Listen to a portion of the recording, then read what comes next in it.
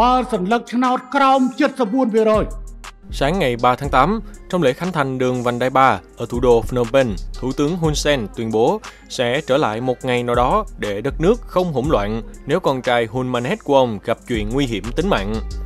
Con trai ông, Đại tướng Hun Manet, gần như chắc chắn trở thành thủ tướng tương lai của Campuchia trong tháng này. Đảng Nhân dân Campuchia CPP do ông Hun Sen lãnh đạo đã giành chiến thắng lớn trong cuộc bầu cử quốc hội khóa 7 hôm ngày 23 tháng 7. Ông Hun Manet được công bố là ứng viên của CPP cho chiếc ghế thủ tướng. Tháng trước, ông Hun Sen tuyên bố sẽ rời khỏi ghế thủ tướng và giao lại trọng trách lãnh đạo đất nước cho ông Hun Manet cùng thế hệ trẻ. Nhà lãnh đạo 71 tuổi cũng mong người dân cảm thông cho quyết định đó, khẳng định sẽ không can thiệp vào công việc của chính phủ tương lai. Tuy nhiên, trong bài phát biểu ngày 3 tháng 8, ông Hun Sen đã nói về khả năng quay trở lại làm thủ tướng.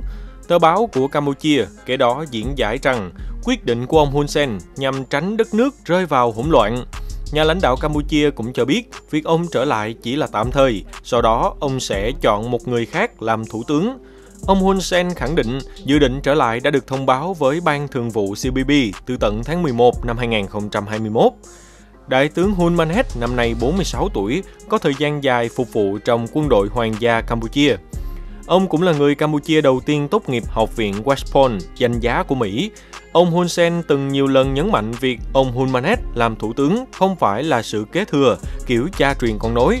Theo ông, đây là một tiến trình có những quy định chặt chẽ, trong đó tân thủ tướng phải là một trong các nghị sĩ đắc cử.